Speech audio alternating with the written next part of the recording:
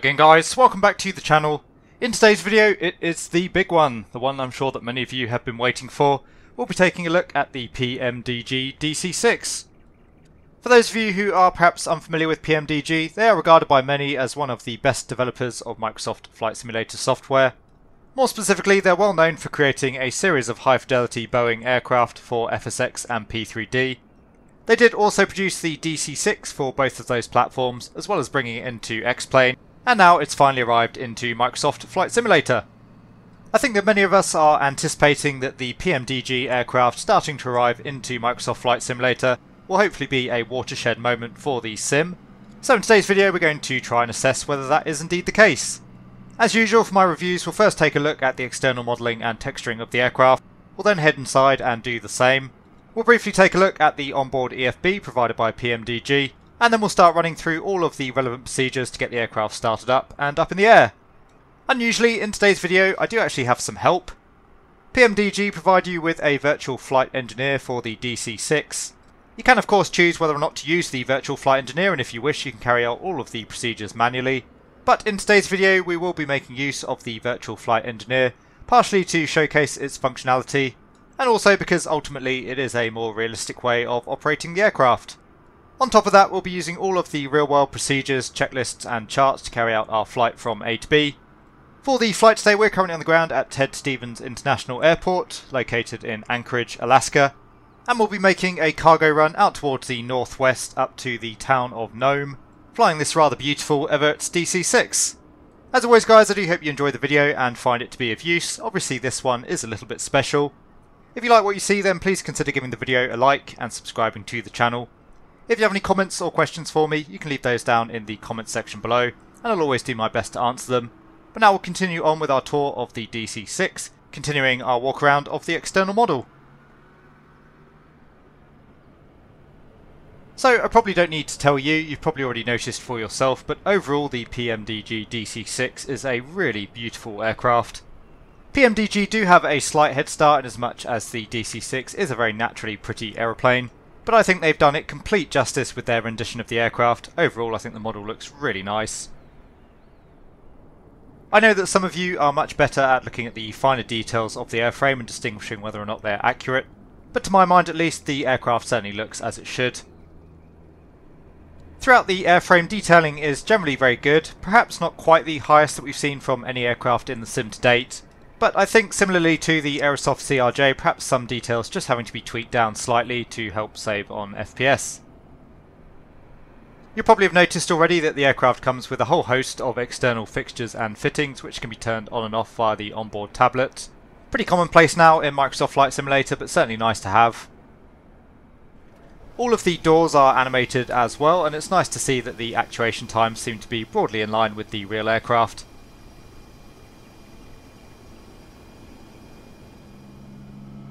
There are lots of nice little touches and attentions to detail. For example, in the cargo hold we do actually have some cargo on board, and it's generally modelled quite nicely.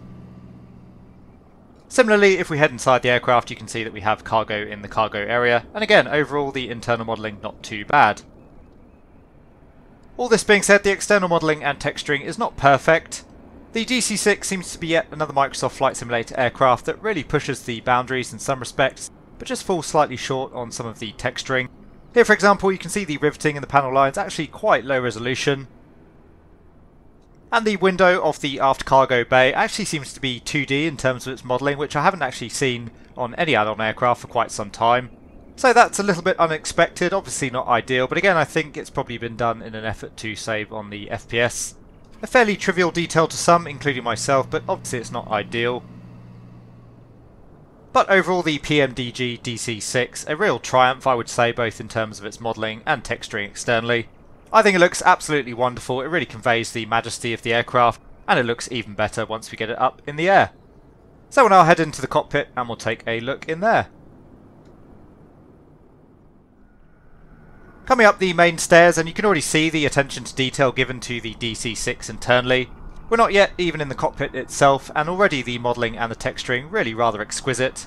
Lots of nice little details here, although it looks like someone hasn't been doing a very good job of keeping the cockpit tidy.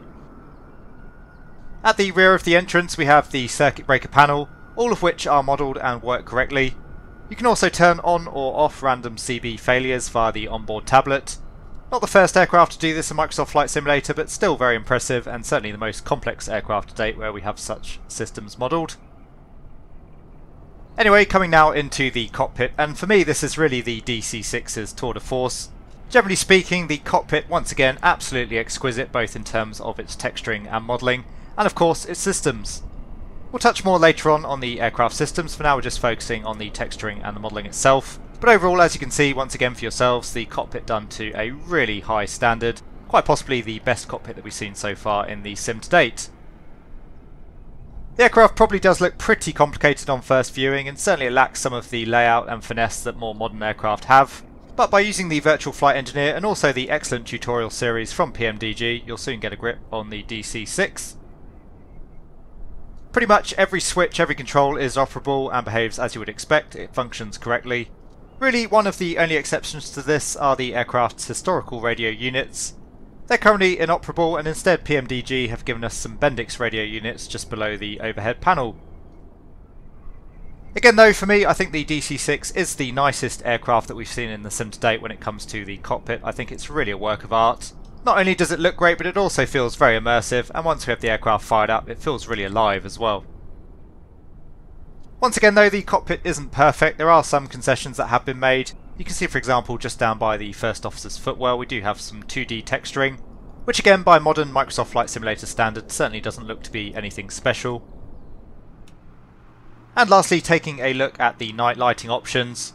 Really there are almost infinite lighting options available on the aircraft with a multitude of rotary switches spread throughout the virtual cockpit. These allow you to dim and adjust a number of lights as you desire, but for the sake of the video, I'll just show you the main lighting schemes available via the EFB tablet options.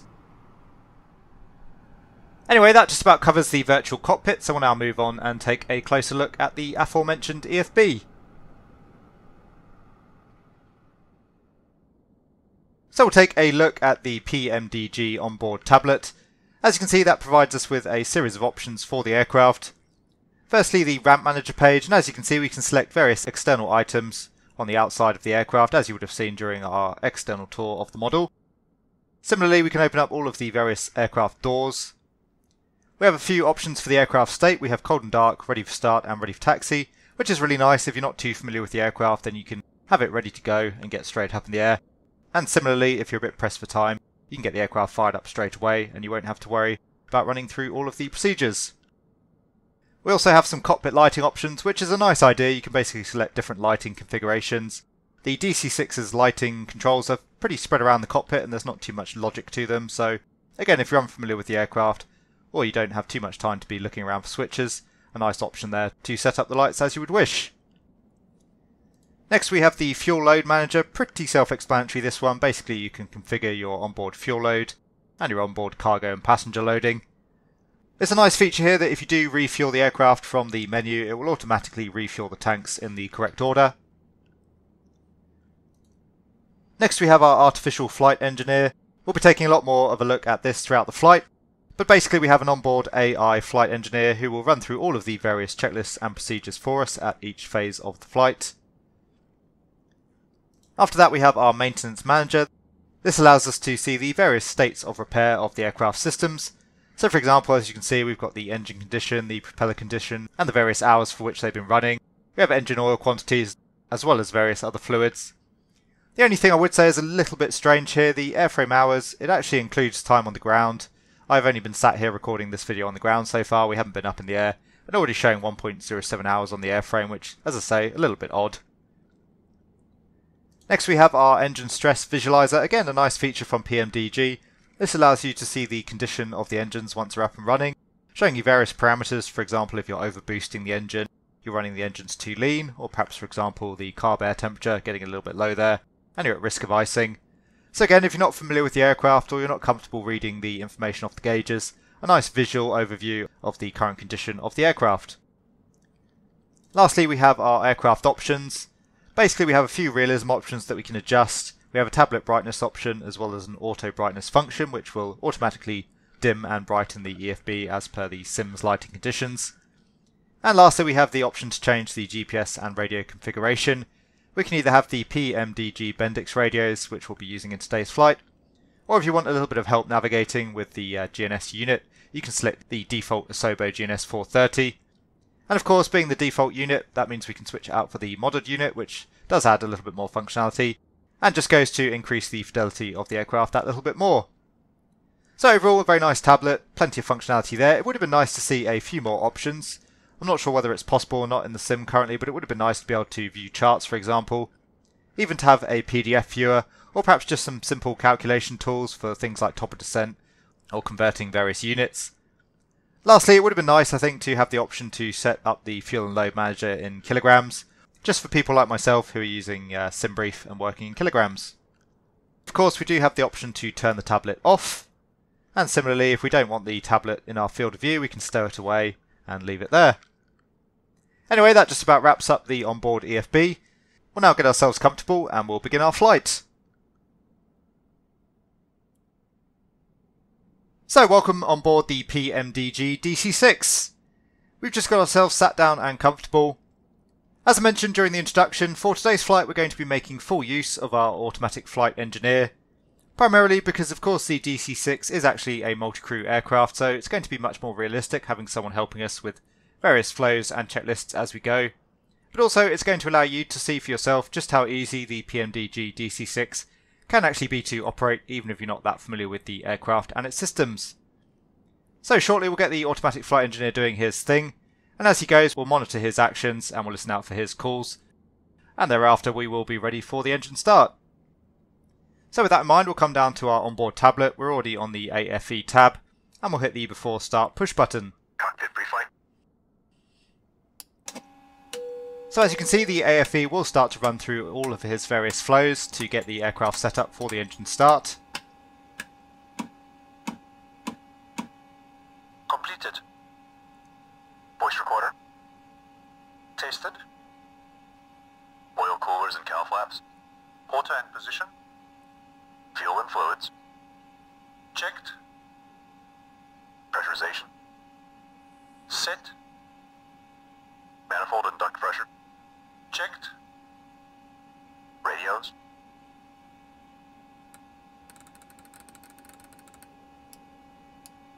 Checked. Hatches.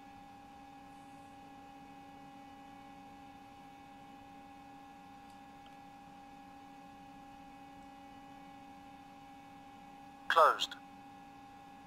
Door warning lights. Out. Gear pins. Removed. Three on board. Seat belts and pedals. Adjusted. Throttles. Set to idle. Propellers. Forward and three.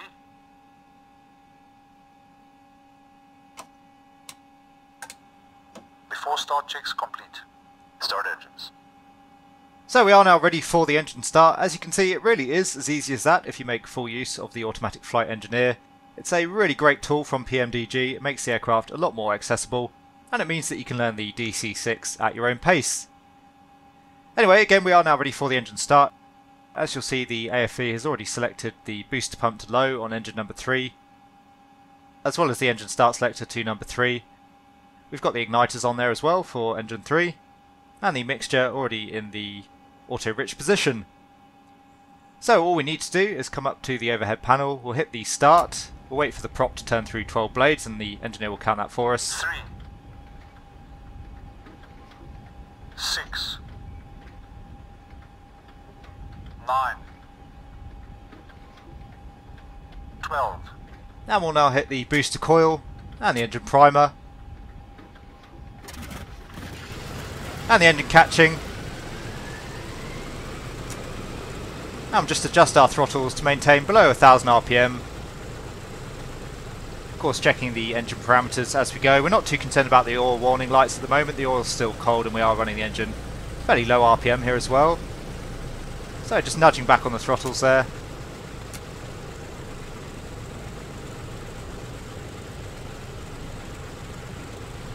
So we'll start engine 2 now. So the engine 2 mixture control lever can go to auto rich.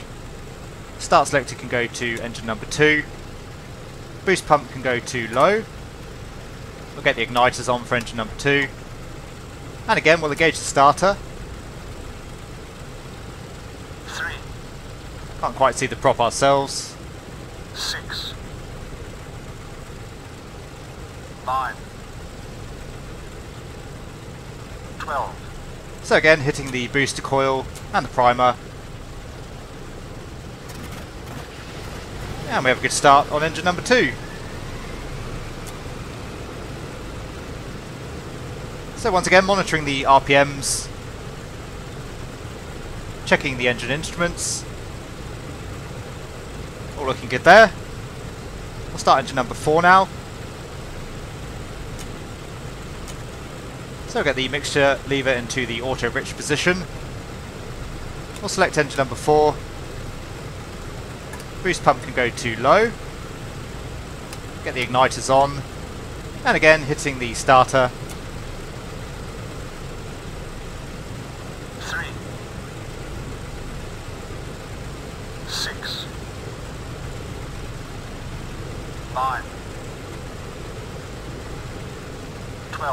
There's our 12 turns to the blade, booster coil on, and primer on.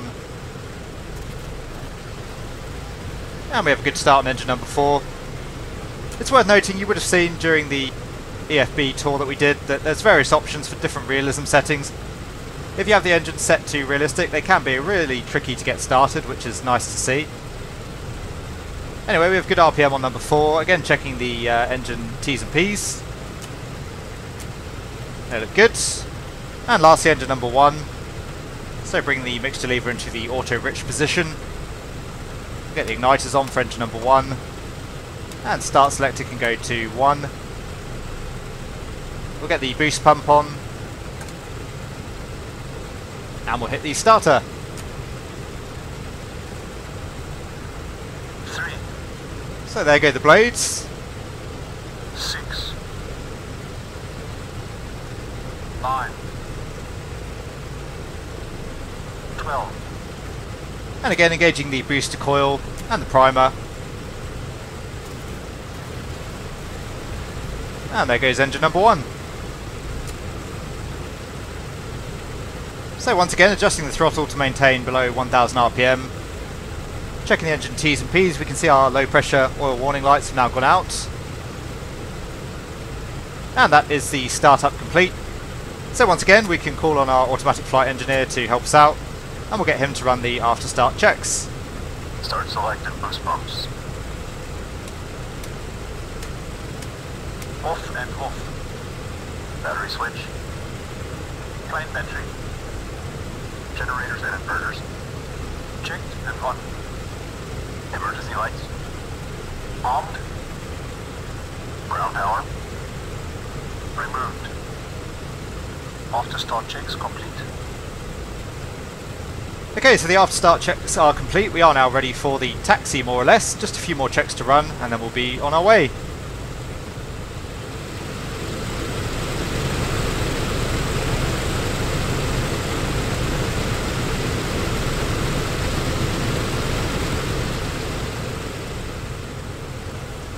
Okay, so just before we get the aircraft underway, we'll first finish setting the aircraft up for the departure. We've just grabbed the ATIS, they're currently using runway 07, but we're going to take runway 15 just to save on the taxi time. It will mean a little bit of a crosswind, but no significant issue there.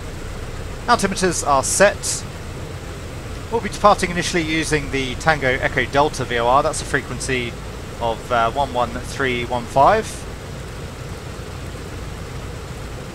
So we'll get that set up now, and we'll be tracking out towards the Mike Charlie Golf VOR, that's 115.5.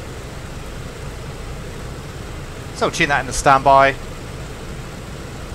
And we'll tune that up on nav 2 as well.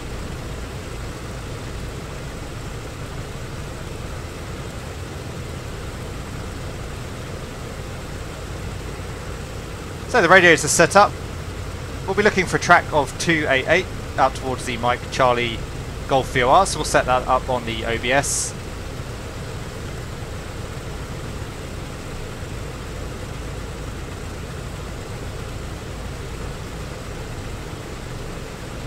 And that is set.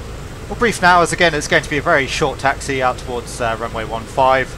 We'll be flying the Anchorage 9 departure off runway 15 which is basically straight ahead to 600 feet and it'll be a right turn out onto a heading of 201 and thereafter we'll get vectors to join our flight plan track. Climbing straight up to our cruising altitude today which is only 12,000 feet, quite a low cruising altitude over towards Nome. For the taxi we'll just exit the apron straight off in front of us and we'll taxi down uh, Romeo for the holding point runway 15. Again, it'll be a very short taxi overall. Anyway, we are now ready for the departure. We've run through all of our relevant checks. Next checks will be the before takeoff checklist. So the part brake can come off. And we'll just very carefully come up on the engines to get the aircraft rolling.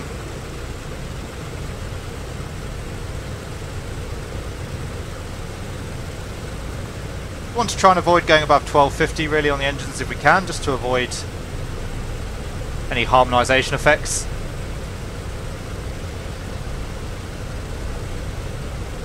Anyway, we're all clear on the left.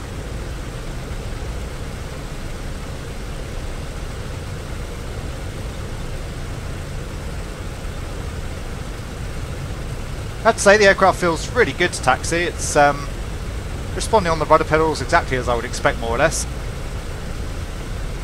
I've not flown a DC-6 of course, but it feels appropriately heavy.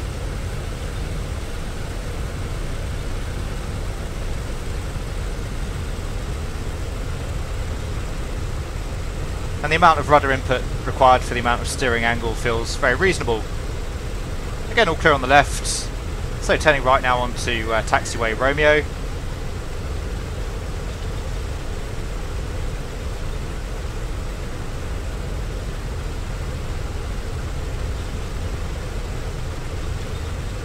So again for the uh, departure brief. It's the Anchorage 9 departure, off runway heading up to 600 feet, then a right turn onto a heading of 201, climbing up to an altitude of 12,000 feet, and we'll be expecting uh, radar vectors onto our flight plan track. We're not using air traffic control just at the moment as they're not going to give us the runway that we actually want, but we'll call up for a uh, flight following once we're in the air.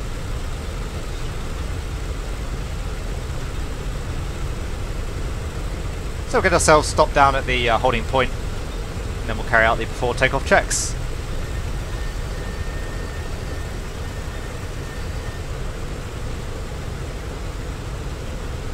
So confirmed it is runway 15.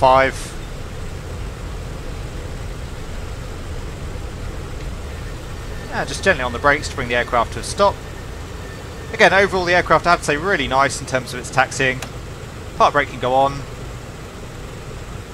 and we'll leave the engines there idling below 1000 RPM. So back to our automatic flight engineer, we'll let him run the show with the before takeoff checks. Boost pumps. Boost pumps on low. Fuel selector and crossfeed. Main tanks and crossfeed off. Autopilot and carb heat.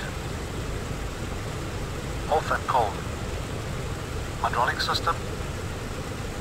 Down forward, pressure quantity checked, okay. Flaps 20.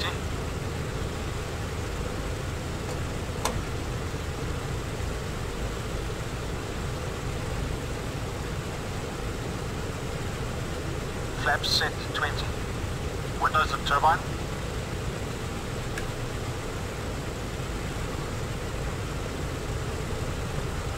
Closed and on. Controls Gust lock released.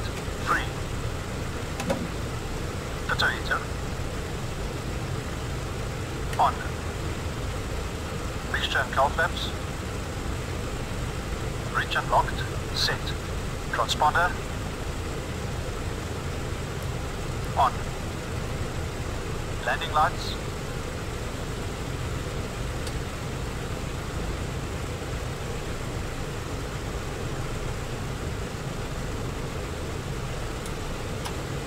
extended and on. Before takeoff checks complete. So that is the before takeoff checklist complete. We'll just do a quick flight control check ourselves. So let's full back, pull forward, neutral, pull left, pull right, neutral, and same for the rudder, Pull left, pull right, and neutral. It's visually all clear on final. Again, we won't make use of air traffic control just yet. Can come off. We'll get ourselves lined up on the runway. And you can see from the windsock just a little bit of a uh, crosswind out from the west.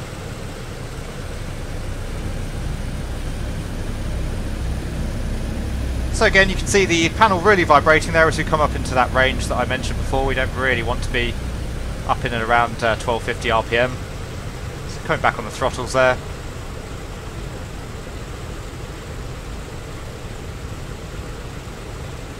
And once again, it's runway 15 confirmed.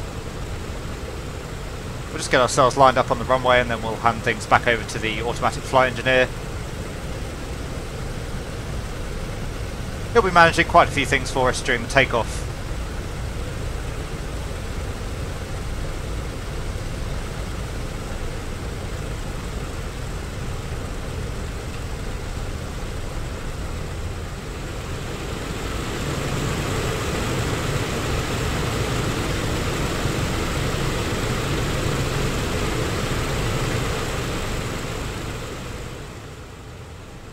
So we are now ready for the takeoff. Just before we depart though, we'll run through all of the actions that we'll be carrying out during the takeoff run, just so that you can follow along. So the first thing to note, our takeoff weight today is actually £79,000, which puts us below the £87,600 weight limit for a wet takeoff. That means we can do a dry takeoff today, so we'll be using 53 inches on the manifold pressure. The automatic flight engineer will be managing that for us. In terms of our V speeds, at our current weight, V1 will be 83 knots, VR will be 101 knots, and we'll be climbing away at a speed of 165 knots all the way up to our cruising altitude of 12,000 feet. As I say, we'll have the automatic flight engineer manage the engines during the takeoff run, so we'll set that shortly. We'll be holding the aircraft on the brakes up until we see 40 inches manifold pressure, and then we'll release the brakes and begin the takeoff run. Rotation, you'll notice it'll be a very slight rotation. We'll be rotating up to a nose-up angle of around 5 degrees to give us our acceleration initially, and then climbing away as I say at a speed of 165 knots. As you can see we do have some terrain on the departure and again for the uh, departure routing it'll be 600 feet, a uh, right turn out onto a heading of 201. So park brake can come off, as I say we'll hold the aircraft on the brakes and we'll hit the takeoff dry push button to get the flight engineer to start carrying out his actions. 30 inches stabilize. 30 inches stabilize. So he'll bring the engines up to 30 inches to stabilise. Keeping a good eye on the T's and P's.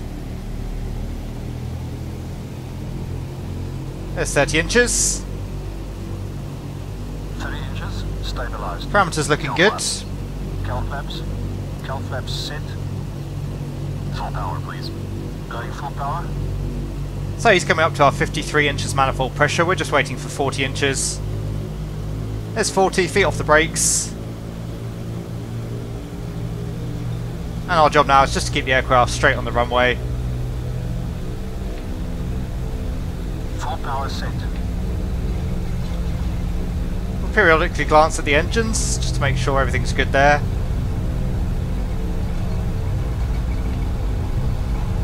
There's 83 knots, that's V1. And 101 rotate, so gently coming back on the stick. The aircraft very gently and nicely coming off the runway. Buzz ring, gear up. Gear selected up.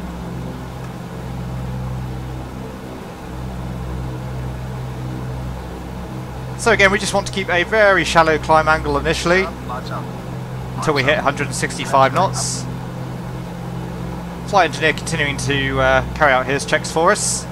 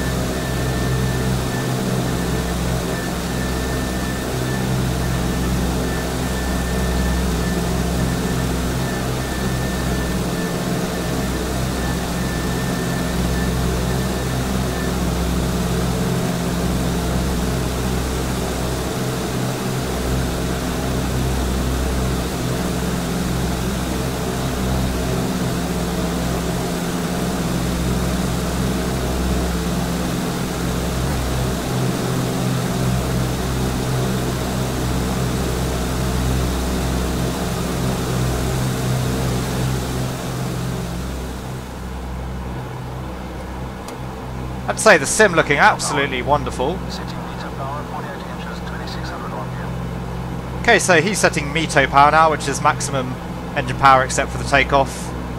And there's 165 knots, so we can now start to uh, climb. We're through our 600 feet, so we'll start our turn onto a heading of 201. METO power set. Climb power. Setting climb power.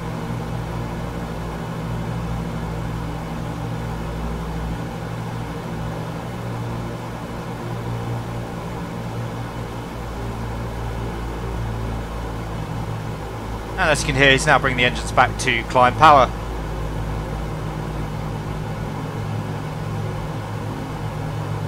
Climb power set. After takeoff checklist, please.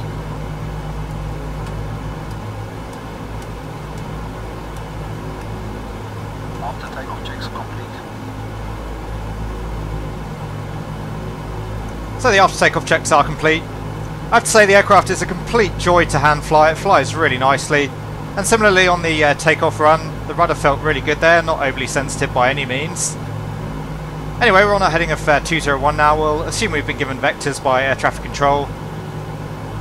So we'll come onto our flight plan track, which is a course of 288 out from the Tango Echo Delta VOR. So we'll come on to about a heading of uh, 300 until we intercept the course out from Tango Echo Delta. Again, keeping a good eye on our T's and P's there. Radial engines have nowhere near the same reliability as uh, jet engines, so even more important that we keep a good eye on all of our engine parameters.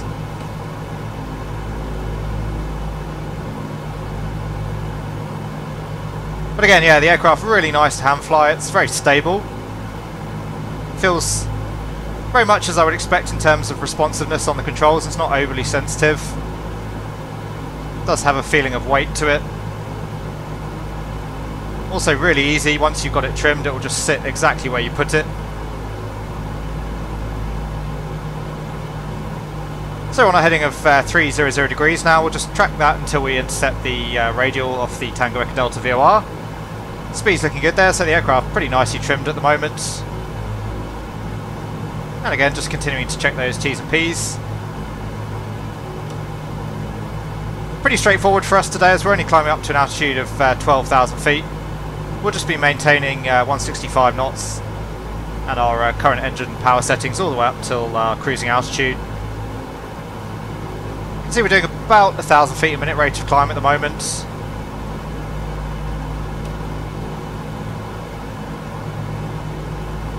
Just coming up on 5,000 feet.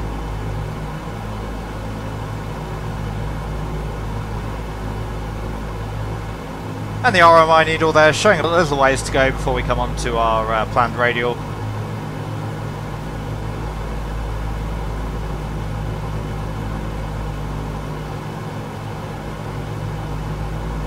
Just coming up through the first cloud layer now, the uh, outside air temperature getting down towards 0 degrees Celsius now, so keep a good eye on the OAT there. We might have to get the anti-icing systems on at some point as we come up through the next cloud layer in front of us.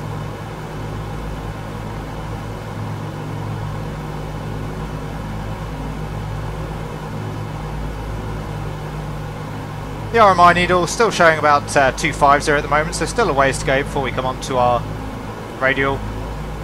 And just come up through 6,000 feet now.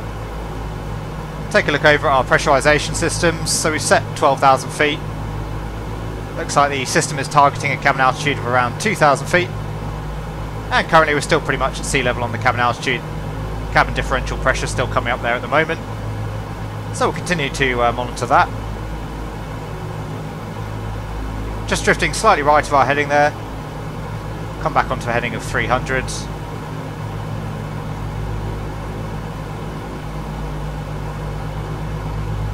And we'll call up now uh, anchorage approach. We'll request that flight following, so 126.4.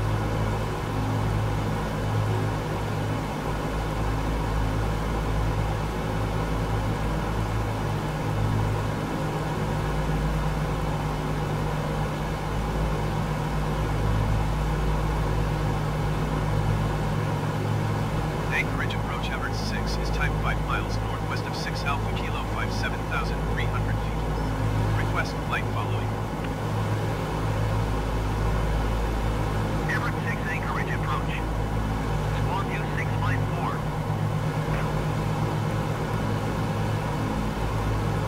So squawk two six five four and back to out. Everett 6 radar contact 6 miles northwest of 6 Alpha Kilo 57,900 feet. QNH 29er decimal 92.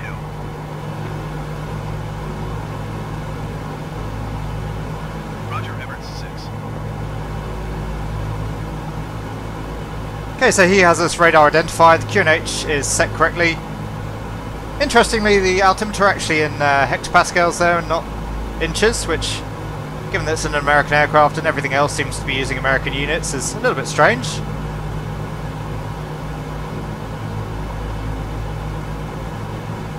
You can see the radial just starting to come in there now. So we'll very shortly turn onto our uh, heading of 288. Ah, and coming up through 9,000 feet, so 3,000 feet to go. Everett 6 contact Anchorage Center on 133 decimal 7.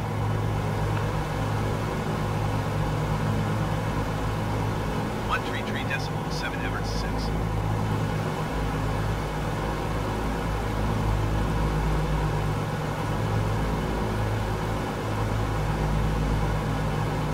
Again, I've got the aircraft nicely trimmed, hands off the controls at the moment, and it's staying exactly where I put it. It's really nice, very pleasant, and stable aircraft to fly.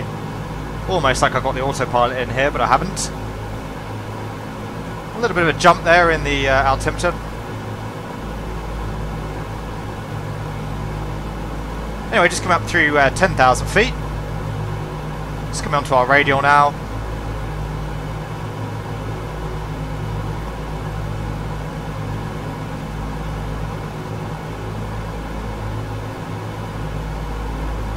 And coming nicely onto our heading.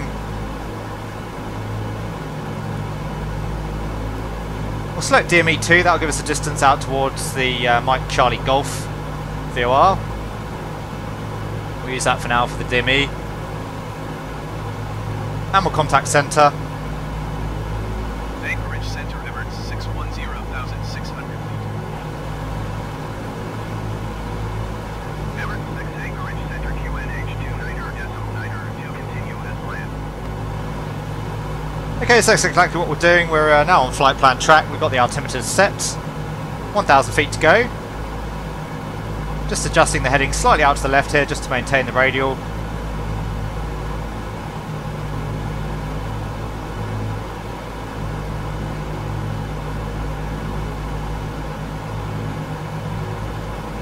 We'll stay on the Tango Echo Delta VOR for now, and when we're halfway between the two VORs, we'll switch over to the Mike Charlie Golf.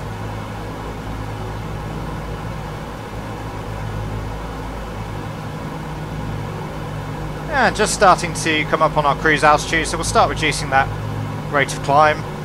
Looks like we're still going to be below the second cloud layer, which is nice. That should keep us out of any significant icing.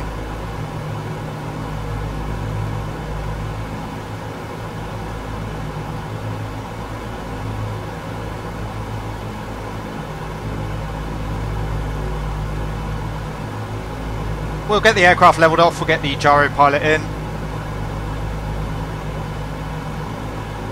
Then we'll get the automatic flight engineer to set up cruise power.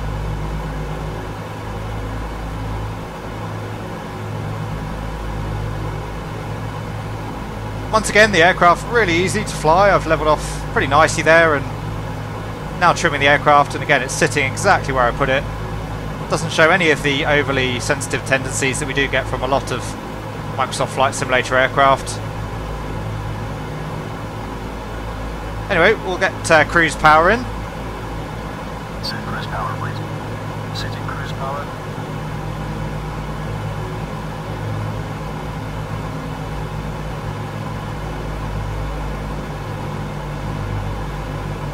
So once again, the flight engineer pulling the uh, throttles back there, getting us set up nicely for the cruise. We're more or less trim now, so we get the gyro pilot on. So first thing we'll do, we'll turn it on. And you can see it is now ready. Engage the mechanical clutch. Just come slightly back on the wheel there, just to uh, have us levelling off. Come back up to exactly 12,000 feet. Cruise checks are complete.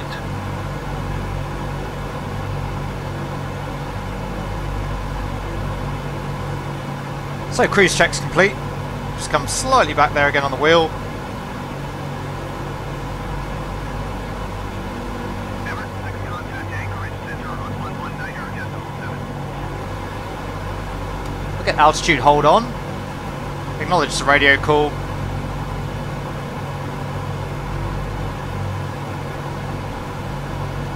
One one niner decimal seven for Everett six.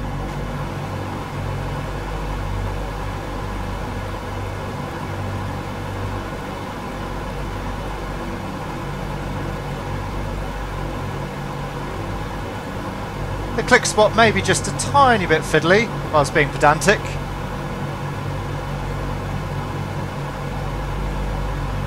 Anchorage Center, Everett six twelve thousand feet. Everett Six Anchorage Center QNH, two niner decimal niner to continue as planned. So once again, continue as planned. First things first, just how nice is the uh, sim looking there? Sandwiched between these two cloud layers, that's pretty awesome.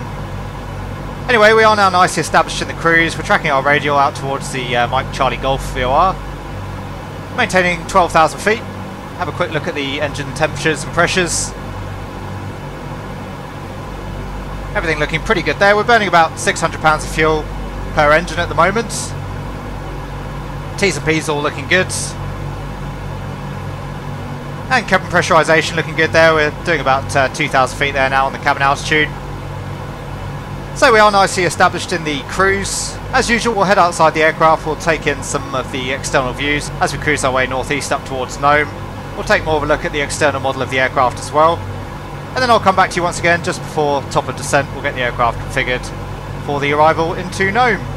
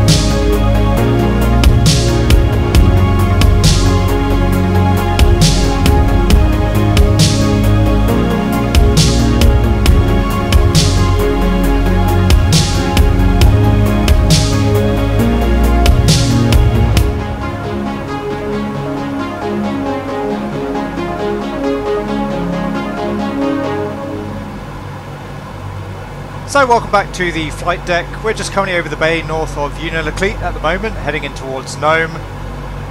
Coming up on about 70 miles to run towards Nome, which, if the PMDG ground school taught me anything, should be about the correct distance to be starting our descent very shortly. To do that, we'll first take out the altitude hold on the uh, gyro pilot. And then we'll slowly put the aircraft into a 1000 feet per minute rate of descent. Leaving the power exactly where it is for now.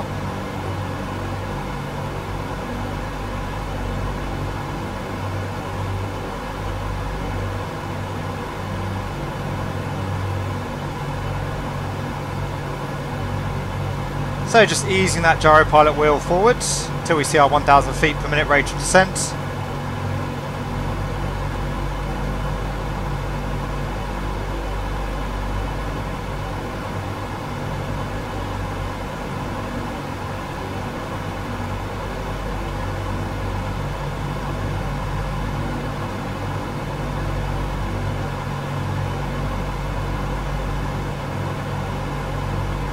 So there's our descent rate, we'll keep the aircraft coming down. As I say, we'll keep cruise for now. Basically we're working on 5 miles per 1000 feet to lose for our descent distance and I've added an extra 20 miles on there as well just to give us plenty of time to get the aircraft slowed down. I want to take a nice conservative approach to this today, not being all that familiar with the aircraft. Anyway, as I say, we're inbound towards Nome at the moment, 65 miles to run now. We're planning on the ILS runway 28 at Nome, so we'll start briefing and getting set up for that. So for the ILS itself, the frequency is 108.7. We have that set on the uh, standby. Final approach course is 279, so we'll set that up later on. Aerodrome elevation is uh, 38 feet. And the uh, MDA is 272. Missed approach. Climb to 1100 feet and then left turn, climbing to 3000. In terms of the terrain, there is some high terrain out to the north. The MSA out to the north is 4,800 feet. We're coming in from the south though, so the MSA there is 2,000 feet. For now, we'll descend down to the en route Mora, which is 3,400, and then once we're within uh, 25 miles, we'll descend down to 2,000. Weather's absolutely fine there. It's much the same as we had out of uh, Anchorage. As you can see, the sun is starting to get fairly low on the horizon now, but being summer here in uh, Alaska, we should have uh, daylight conditions for our arrival. Just come slightly forward again on the uh, gyro pilot wheel there, just keep our 1,000 feet per minute. So we've got about uh, 7,000 feet still to lose at the moment, which means we need about 35 miles plus our extra 20. We should see 55 miles. We've got 58, so looking good there still on the descent profile. Keeping an eye on our speed there as well. Of course, we want to be below 250 knots at uh, 10,000 feet or lower. Anyway, we've briefed the uh, chart, the weather and the terrain. In terms of our fuel, as you can see we've got just a little bit less than 6,000 pounds of fuel on board. That's actually more than enough to get us back to uh, Anchorage. I planned for the return sector as well to stay with our fuel and Anchorage is indeed our alternate. But not anticipating any need to divert, certainly where the weather is concerned.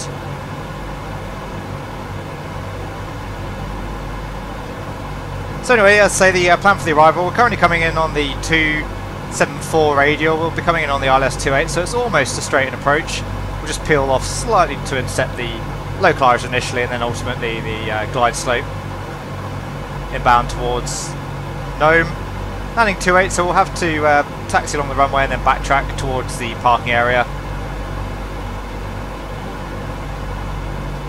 Overall, I have to say the aircraft's been an absolute joy to fly all the way over here. It's such a a lovely immersive aircraft. Certainly a really nice experience created here by PMDG. The aircraft really feels alive, very much to the same degree as most A2A aircraft do that I've come across, and that's a very hard thing to achieve. It's not too many aircraft in flight simulation that do manage to pull that off. Anyway, coming from the 8,000 feet now, so we've still got 5,000 feet to lose, 25 miles to run plus our extra 20, should be about 45 miles. So getting slightly low on the profile here, we'll uh, ease off on that descent rate. For now, we'll come back to around 700 feet per minute rate of descent. And have a quick glance up at our pressurisation as well. Cabin altitude is now 1,000 feet. And the cabin vertical speed there, as you can see, decreasing.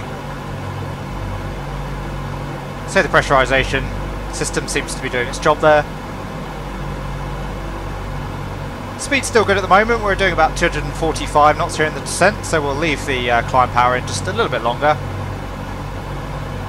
Inbound to, and showing about 11 minutes now to run towards Nome.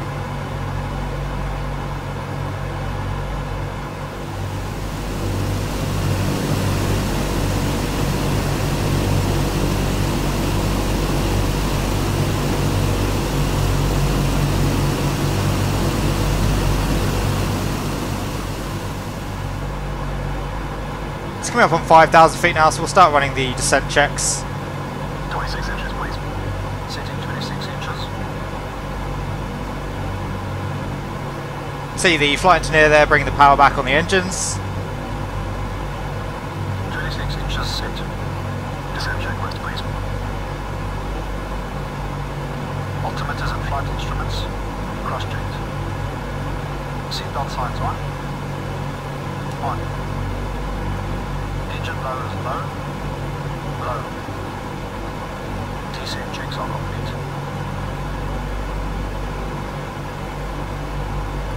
So our automatic flight engineer has just completed the descent checks. And just passing through 4,500 feet now. So 1,500 feet before we start the level off.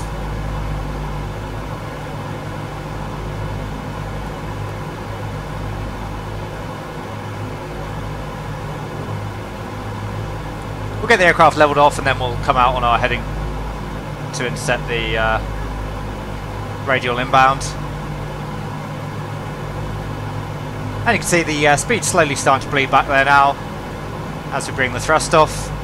Looks like we are going to be passing into a little bit of cloud here in the descent.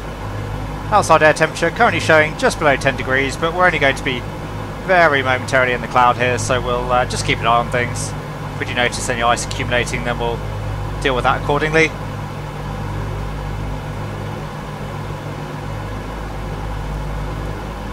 Just periodically flicking over to nav2 to see if we are picking up the ILS yet. Still not picking it up just at the moment.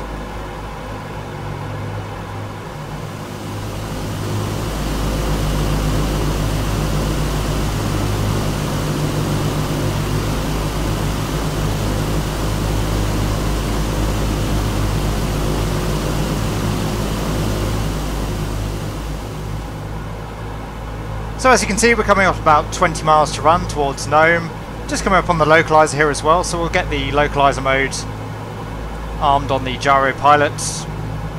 We'll leave approach mode disarmed just for now. We'll arm that once we see the glide slope start to move. And we can start configuring the aircraft once the speed's below 174 knots. We're currently doing just below 180. So we'll start managing the speed ourselves. To do that we'll take out the automatic flight engineer and just bring the throttles back. Come back to around 70 BMEP.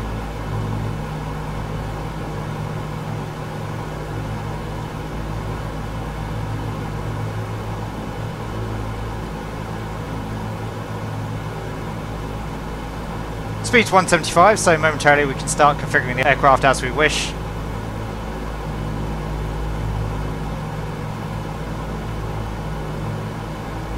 Wait until we come back to 170 and then we'll carry out our in-range checks.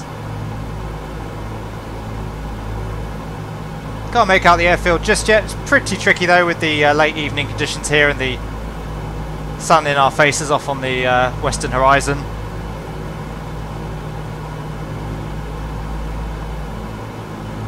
Okay, there's 170 knots, so we'll carry out the in-range checks. Turbine. Normal. Fuel booster pumps. On low. Fuel tank selectors. Mains on, crossfeed off. Hydraulic bypass valve.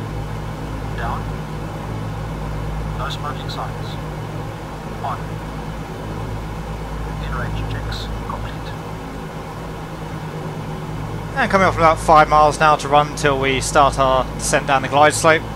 So get that speed coming back, we'll take a stage of flap. We'll aim to be back about uh, 140 knots, flaps 20 before we start down the glide path. Says flaps 10. We can come all the way back to flaps 30 should we wish, below a speed of 174 knots.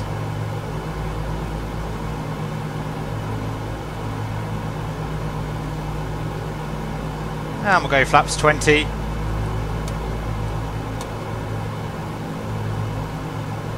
And there's flaps 20 set. Just make out the lead-in lights now for runway 28. Still can't see the runway itself. Temperature-wise, we're just passing through a few wisps of cloud here, but the uh, temperature's 10 degrees anyway, so I think we're okay as far as icing is concerned. And that glide slope just starting to come in there now as well, so we'll arm up the approach mode on the gyro pilot.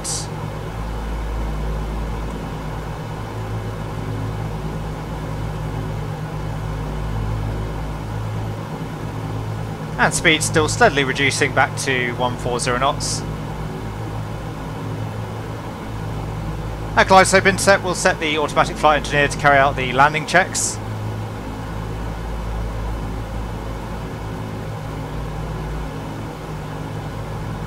Keeping good on the gyro pilot here, making sure it does actually intercept the glide slope.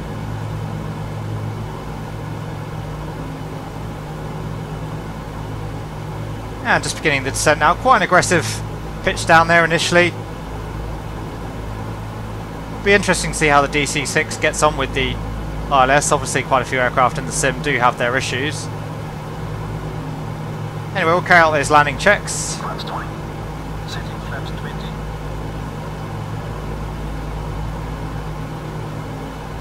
Coming back to about 70 BMEP there again. So we have flaps 20 set.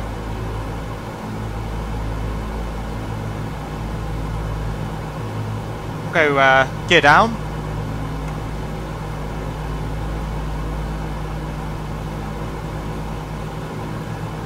Twenty flaps set. Masters ridge wait. Auto ridge. Mixture set. Gear up and down, please. Gear up and down. Gear down and locked. Three greens. Props. 2400 RPM. 2400 RPM set. Flaps. Plus 3 degrees. Cowl flaps set. ADI. ADI off. ADI is off. Wavy lights. Speed good. Extending.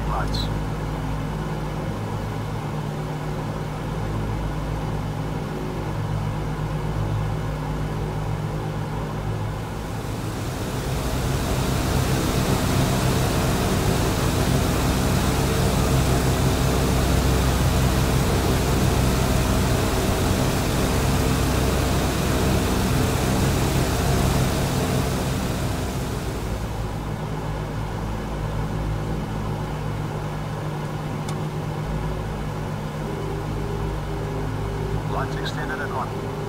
Carbine. Carbine called. Set call. Before landing checks complete. Now that we're below 152 knots, we can fully configure for the landing. Just passing over the outer marker at the moment. Our V approach is 128 and our V ref will be 99 knots.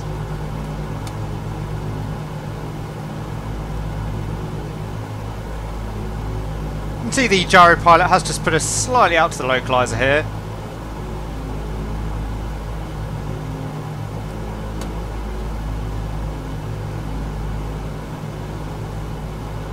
So as flaps full, we'll come up on the power now to maintain the approach just for now.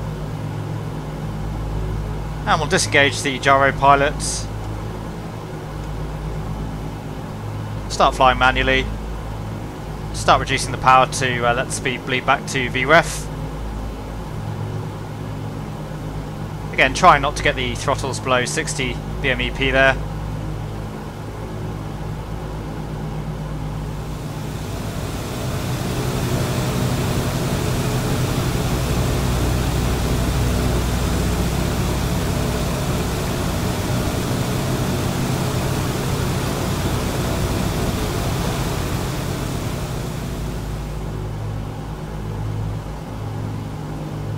Overall, once again, the aircraft pretty nice to hand fly. It certainly sits there more or less once you've got it trimmed. A few little bumps here on the approach as well, as you can see. Apparently the DC-6 doesn't need much of a flare, so we'll uh, try and flare accordingly.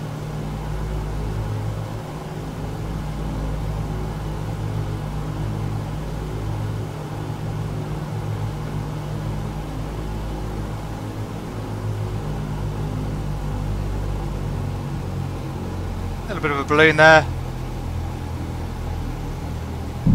There's touchdown.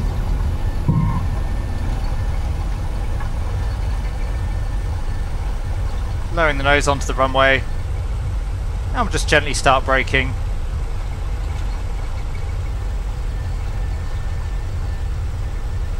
Again, plenty of runway here, so no rush to get the aircraft slowed down.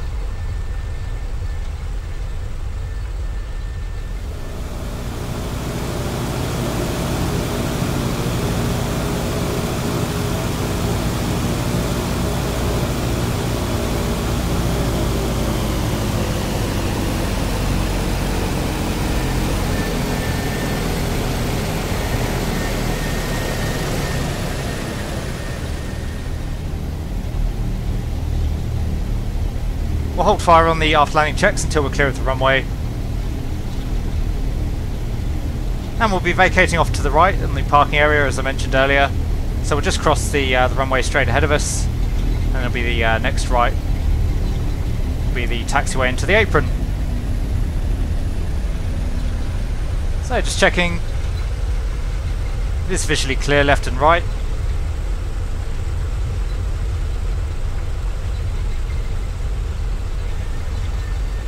Start slowing the aircraft down now for the turn.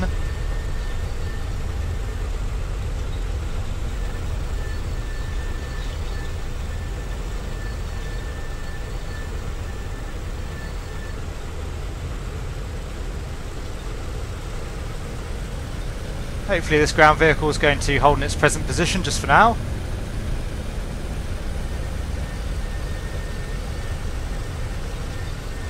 We'll just taxi straight ahead. Park up in front of this building, we'll get the aircraft shut down. Start carrying out those after landing checks.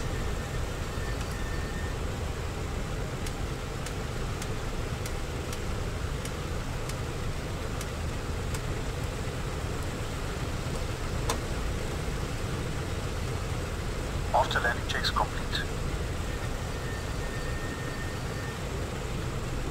So part brake on. And one last task for our automatic flight engineer, we'll get him now to carry out the parking checks.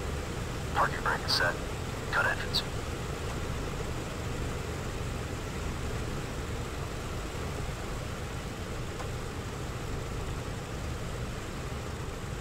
So he's cutting the fuel to each of the engines, we'll just monitor those as they run down.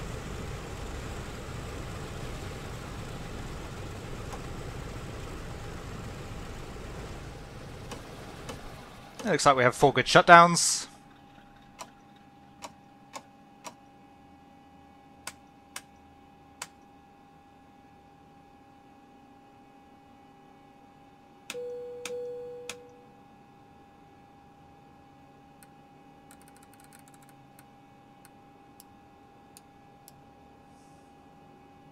So the shutdown checks are complete. As we often like to do during reviews, we'll head back up into the air just to look at a few more features of the aircraft. More specifically, we'll be looking at the engine modelling and damage. We'll carry out a stall as well just to assess the aircraft flight model. And once we've carried out those exercises, we'll get ourselves firmly back on the ground. And we'll finish up with my overall thoughts and opinions on the DC-6. So we're established in the cruise. I've actually just turned the blower or the supercharger up to the high setting on engine number 3 just to show you really the engine modelling and the various effects that we'll see throughout. As you'll see the BMEP's rocketed all the way up to the maximum deflection there on the needle. Likewise manifold pressures come up to around 55 inches manifold pressure. The RPM's all the way up through 3000. Looking at the cylinder head temperatures there as well, the cylinder head temperature on the number 3 engine rising. And similarly you'll notice the oil temperature starting to rise on engine number 3. And again, this just gives you a good feel. It's a very small example of the overall level of depth that we have in the PMDG DC6. That oil temperature continuing to rise at the moment, the oil pressure just starting to fall there as well on number 3, which would generally be an indication that maybe something's up with the engine anyway. Obviously we've induced the failure here.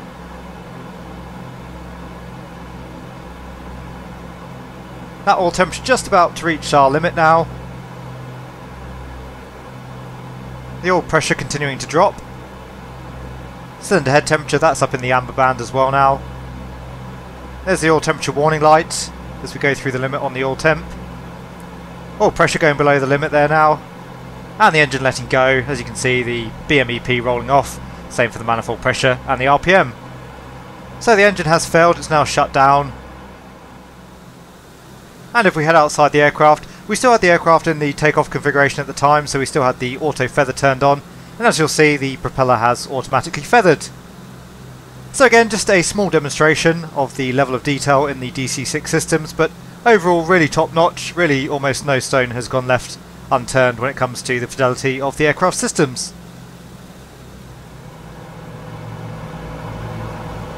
So one last test that we'll run before we conclude the review. Once again we are in the cruise currently at 13,000 feet and we're going to carry out a power off stall just to see how the aircraft behaves there, see what the flight model does. So we'll just maintain altitude, trimming as we go, letting the speed bleed off.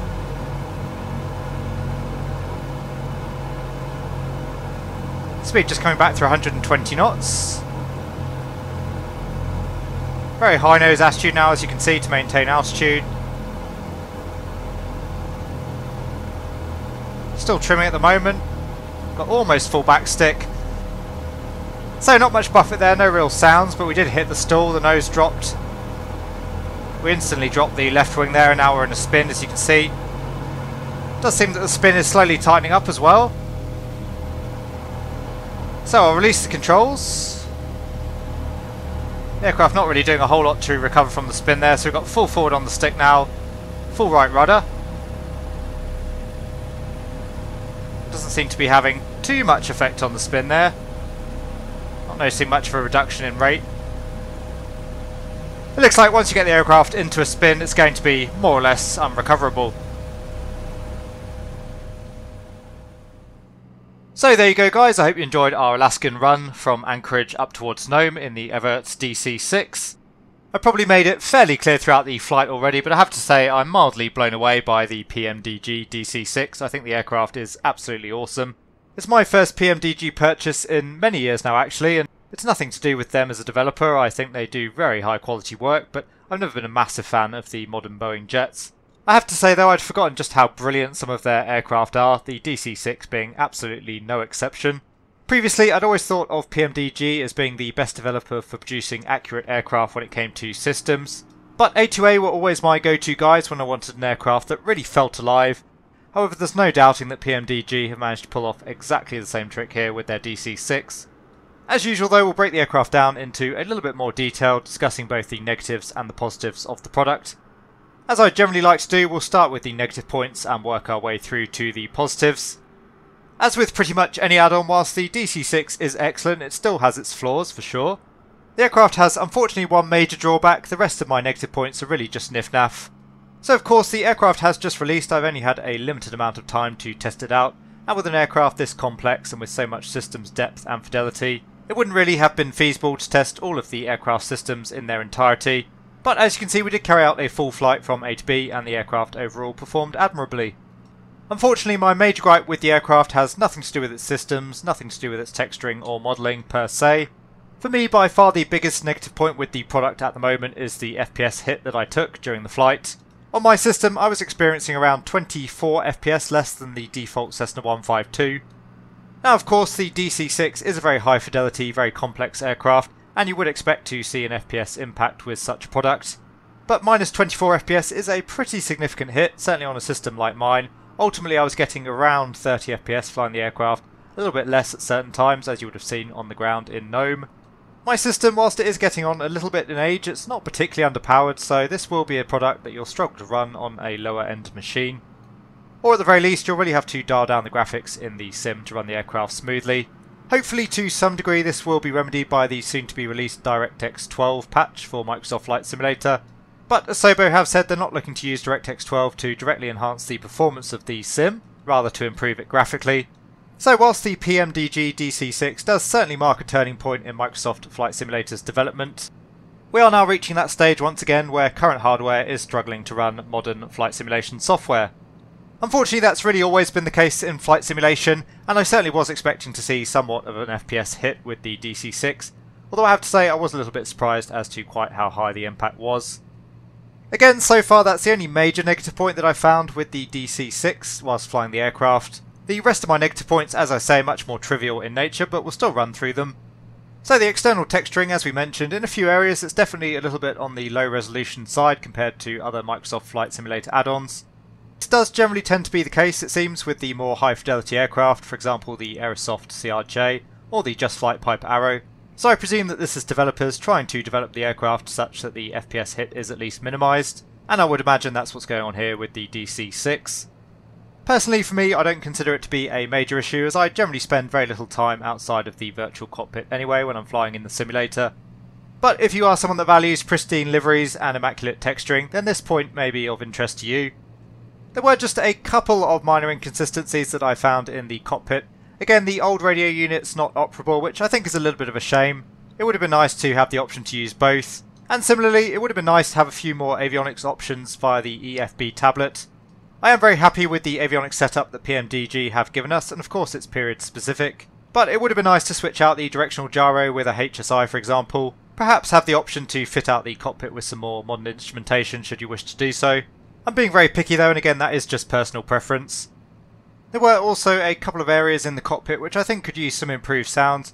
For example, when the flight engineer sets the throttles, there's no noise there whatsoever. And I imagine in a big old beast like this with big chunky throttles, you'd certainly hear some noise there as you're moving them around. Overall, the sounds of the aircraft are excellent, but it just felt like there were a couple of areas where things could be improved slightly. Similarly, it would be really nice to have the option to adjust the sound levels of the virtual flight engineer. For me, he was just a little bit quiet. Personally, I would have liked to have turned the sound levels up a bit. I'm sure people would have their own personal preferences. Again though, for an aircraft of this price and with this much fidelity, it would be a nice feature to have and presumably wouldn't be too hard to implement via the onboard tablet. My last issue with the aircraft, and this is not based on any real world experience once again, but the stall did seem to be a little bit meek. Although the nose did drop and we did enter into that spin, and I've no idea whether the aircraft would be recoverable or not from a spin in reality. But the actual onset of the stall I thought was a little bit underwhelming. There was no real warning there beforehand. And even more disappointingly, there was no visual buffet or audio change. Just a fairly sudden and aggressive stall with, as I say, little to no prior warning. It may be that this is accurate to the real world aircraft, but of course, without having flown it myself, there's no way of knowing, and I suspect that in reality there would be some early onset signs of the stall. Overall though, that just about wraps up my negative points of the product. Really, in all other areas, I can't sing the PMDG DC6's praise highly enough. My first major point of praise for the product is that it's currently retailing at 55 US dollars. Of course, this is still a lot of money for what is essentially a virtual aircraft, but that's certainly very competitive with other products in the sim. Frankly, it's a lot cheaper than I think many of us were expecting, and hats off to PMDG for offering a relatively affordable, really high quality product. It might be a pricey one, but the level of quality more than justifies the cost, in my opinion. So the price, once again, definitely a big plus point. As I say, really almost everything about the aircraft when it comes to its systems, its flight modelling, its handling, its immersion, its ambience, all getting a big thumbs up from me. I really enjoyed my time out in the aircraft. I thought it was a joy to fly. The systems seem to be incredibly in depth. The sounds are really good for the most part, as I mentioned, and they add to a real feeling of immersion.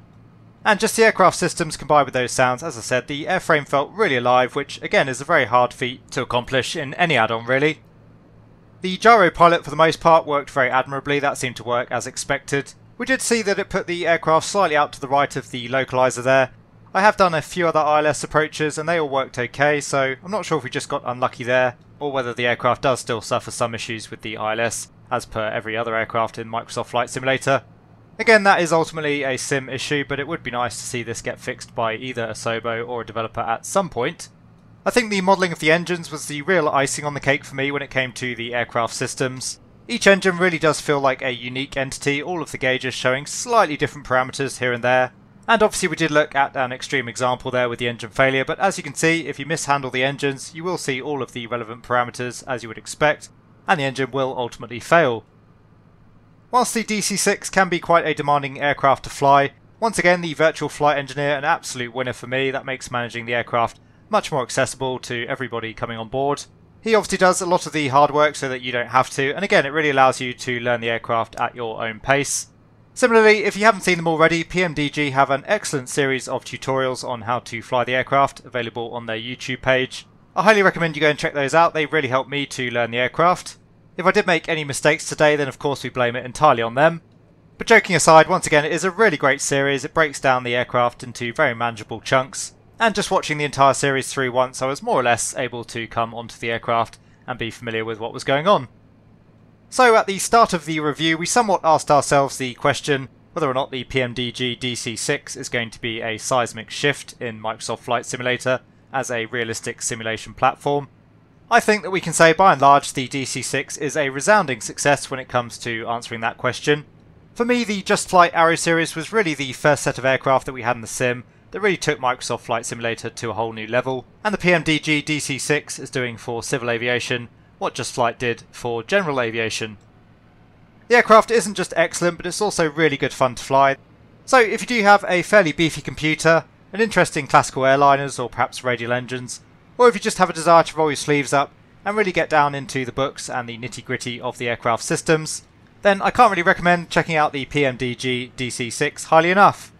As always guys, I do hope you enjoyed the video and found it to be of use. If you did, please consider giving the video a like and subscribing to the channel. If you have any comments or questions for me, you can leave those down in the comments section below, and once again, I'll always do my best to try and answer them. As always, thank you very much for watching, and I'll see you all again soon.